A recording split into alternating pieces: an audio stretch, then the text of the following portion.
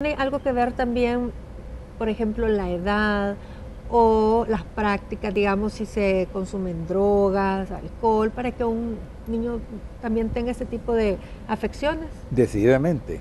Esas son de las otras causas que no son infecciosas que pueden darnos microcefalia. El uso del tabaco, el alcohol, definitivamente, otras drogas, nos pueden llevar a niños con microcefalia o con cualquier otro eh, trastorno de su crecimiento normal. También hasta la malnutrición, y aquí podríamos hablar lo que decía en Estados Unidos, es baja la, pues sí, pero allá comen un poquito mejor que los frijolitos de aquí, y entonces esa, ese factor es importante. Una madre con malnutrición severa, estamos hablando de verdaderos casos eh, dramáticos, que hay que hospitalizarla cuando nos damos cuenta.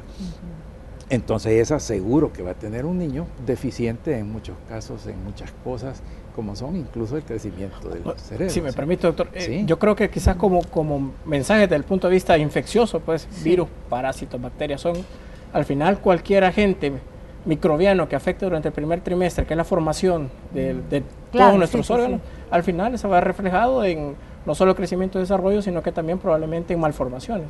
Entonces, pues, quizás ahí va la, prevención desde los cuidados prenatales, como decía el doctor. Eso es lo importante, definitivamente.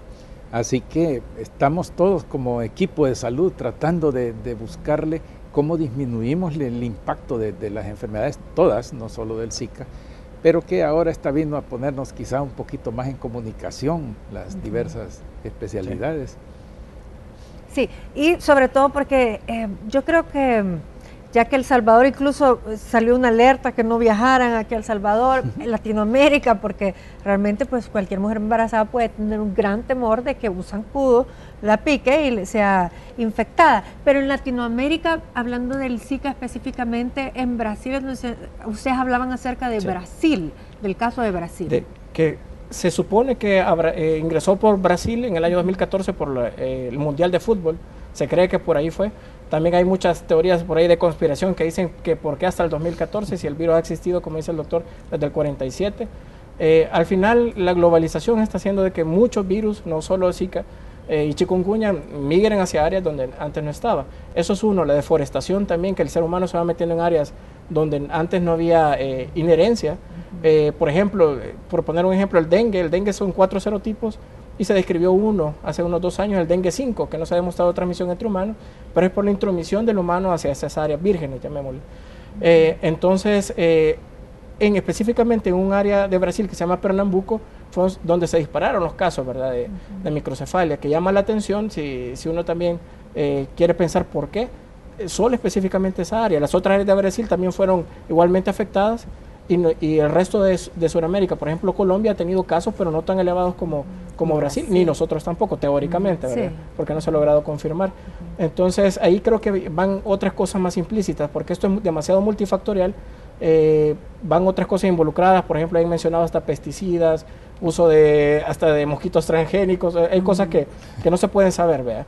Entonces llama la atención de que para que el virus haya causado tanto daño a la población brasileña, uno puede ser la misma susceptibilidad del huésped o la agresividad de la cepa de virus, pues, o la cantidad de virus que tenemos en, sangre en ese momento. Interesante. Ahora, aparte de, del Zika, del dengue, del chic, ¿qué otro virus eh, anda rondando, por ejemplo, El Salvador, que se conozca que es también eh, malo pues para la mujer embarazada, que, se llegue a infectar? Pues varicela, por ejemplo, varicela que es un, virus muy frecuente si mamá no está vacunada eh, y dar durante el primer trimestre es muy, pero muy agresivo. Eh, que existe el síndrome de varicela congénita. ¿Y algunas malformaciones? ¿Cuáles serían las para los bebés? En el caso de varicela, por ejemplo, eh, sí puede tener malformaciones si se da al primer trimestre, ¿verdad?, del embarazo, porque yo he oído así en la población en general que dice, a que le dé al niño porque este, la varicela que le dé chiquito porque es mejor, no les pasa nada pero son virus sumamente agresivos, ¿verdad? Le gusta el sistema nervioso, producen y el otro día estaba hablando del herpes zóster ah, y asustadísima yo que realmente sí, el cómo, cómo impacta porque es, es, que te vuelve a dar como varicela pero de otra forma es un virus herpes. Entonces el virus este eh, de varicela en un inicio puede dar malformación congénita. Como decía el doctor el virus da encefalitis que quiere decir que se va al cerebro y produce una, inflamación. Y si es en el primer en el primer tres meses, pues en los primeros dos meses, digamos así, que se está gestando el recién nacido, el bebé se está formando en todos sus órganos a una velocidad increíble, ahí va a haber afectación. Y también está la varicela eh, del ya para nacer, digamos así, ya eh, la, perinatal. ¿verdad? Que el niño le da la varicela y nace con cicatrices como que le hubiera dado, ¿verdad? Igual que a postnatal. Entonces sí, eh, son enfermedades que tienen prevención en el momento actual y que pueden ocasionar bastante daño. Varicela, por ejemplo, eh, es una, la toxoplasmosis es otra enfermedad que esa no hay manera de prevención, más que, como decía el doctor, eh, los quistes, los huevos de ese parásito están enquistados en la carne de las, de las, pues, de los cerdos, de las reses, ¿verdad? Que es lo que nosotros comemos bastante. Y, y ahí sobreviven y ahí se están y esta causa también de infertilidad. Sí, sí, sí. Fíjese que lo más importante quizás de todo esto es la respuesta que tiene que dar la nación, no solo el gremio médico. Tiene que haber una estrategia nacional para terminar o disminuir enormemente esto. Cuando sabemos que un zancudo es el que transmite y sabemos que su ciclo es de cada tres semanas, por decir algo, su reproducción, hacemos una fumigación ahora y hacemos la otra dentro de seis meses, no ganamos nada. Perdimos el dinero invertido en esta fumigación.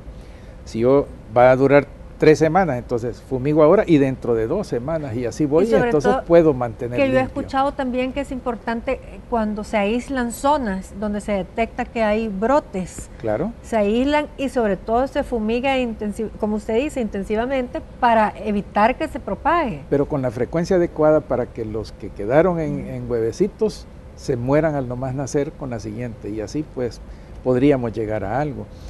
Lo otro que muy bien decían los colegas es la educación hacia la, hacia la población, hacia las madres, hacia los padres, que no tienen el problema y a los que lo tienen, visitas domiciliares que tienen que hacerles para estar vigilando cómo nos están manejando estos niños, cómo realmente tienen estas criaturas la, atención que ameritan como seres humanos, aunque tengan un problema X, y apoyar a los padres eh, con, incluso con terapias de grupo, en fin, hay tantas cosas que se pueden hacer y que aquí probablemente no se han, no se han implementado de momento y espero que sí se implementen. Pero no solo pues para el Zika, sino para todas estas otras enfermedades que hemos estado hablando, de prevenirlas con vacunas o evitando la transmisión, eliminando los vectores que las transmiten. Interesante. Nos vamos a ir a una pausa. Este miércoles estamos hablando de la microcefalia en nuestra temática médica. Ya ven.